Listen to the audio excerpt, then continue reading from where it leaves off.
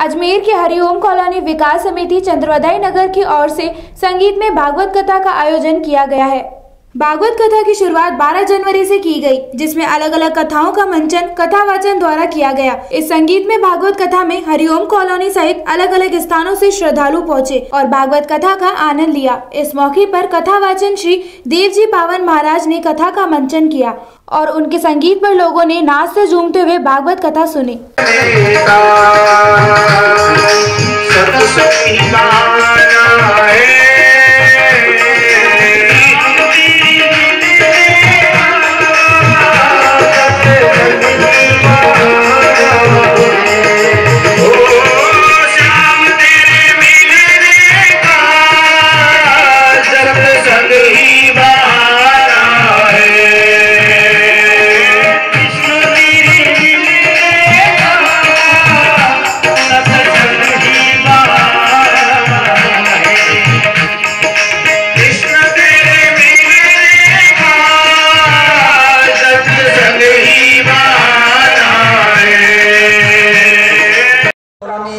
समिति चंद्रवरदाई नगर, जो कि एक रजिस्टर्ड संस्था है।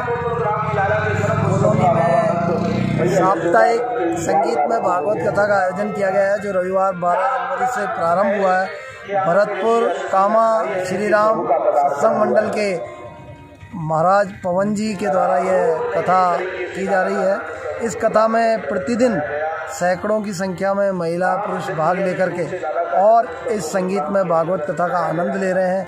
हमारा उद्देश्य था, जैसे प्राचीन समय में जो भी कोई अपना आवास बनाता था, भवन बनाता था, गंगा नदी के और जल के किनारे जाकर बनाता था। तो हमारा यह प्रयास है, हमारी समिति के द्वारा यह प्रयास किया गया, जो कार्यक्रम के संयोजक हैं, हमारे सागर मीणा, उनका यह प्रयास था कि गंगा घर बैठे लोगों को मिलनी चाहिए। यह जो बुज़ुर्ग हैं, यहाँ के लोग हैं, जो भागवत कथा में दूर जाने में असमर्थ हैं, असहाय हैं, उनके लिए यहाँ पे यह आयोजन किया गया।